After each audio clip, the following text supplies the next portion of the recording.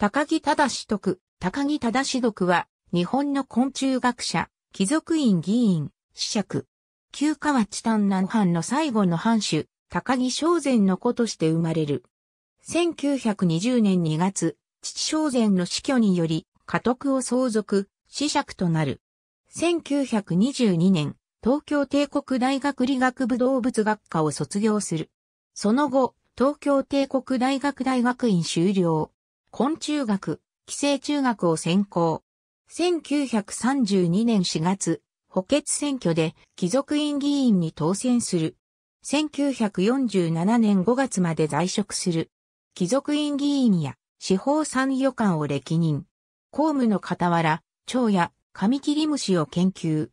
昭和初期には、秋田県の官民共有林の払い下げをめぐって、詐欺的行為を働き、国葬をかろうじて免れて、名古屋市に移住したと言われる。名古屋では、生活に窮し、風船売りで生計を立てたこともある。戦後は、東京都渋谷区の関東女子高等学校に奉職。しかし、1948年7月8日、クレノも探してはいけません。無駄です。自然に融合して還元するのみとの衣装を残し、昆虫採集用の生産狩りを持ち出して失踪、大騒ぎになった。貴重な研究資料だった蔵書や昆虫標本類を繊細でことごとく消失した上、それらを集め直すことが家族制度廃止で不可能になった悲しみと絶望が失踪の理由だったのではないかと、国子夫人は推測した。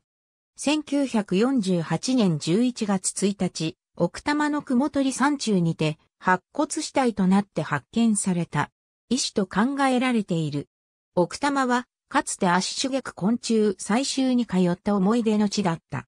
国子夫人の父は入江為守る。弟は昭和天皇の侍従長で随筆家の入江今政。家督は長女、絹子の夫である高木清純が継いだ。次女の百合子は三笠宮高人親王妃、三女の桃子は、京極高春夫人、四女の小夜子は、高岡末明夫人となった。ありがとうございます。